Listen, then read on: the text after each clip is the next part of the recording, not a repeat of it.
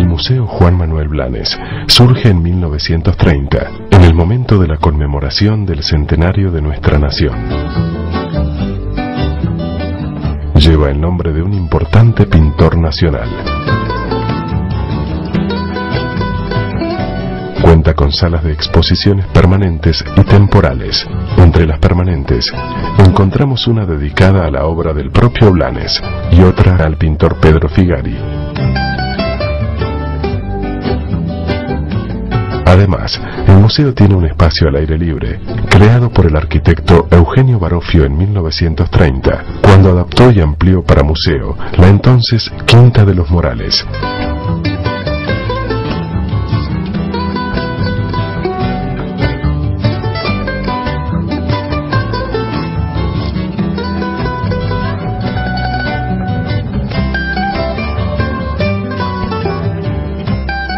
Juan Manuel Blanes, conocido como el pintor de la patria, nació en Montevideo, junio de 1830. Fue un excelente artista que es recordado por haber volcado en sus cuadros los hechos más importantes de la historia de nuestro país.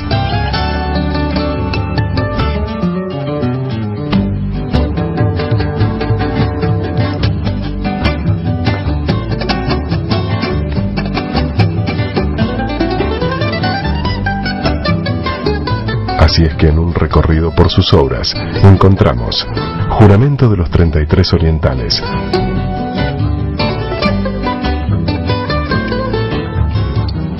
la revista de 1885,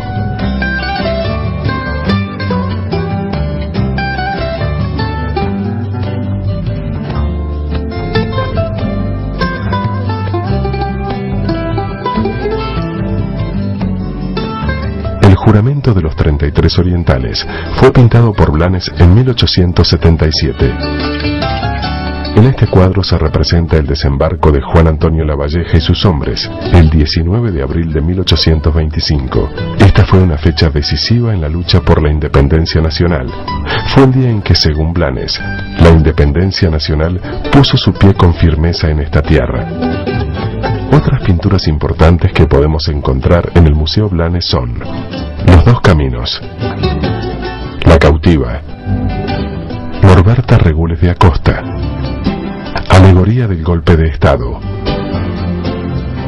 Demonio, Mundo y Carne, entre otras.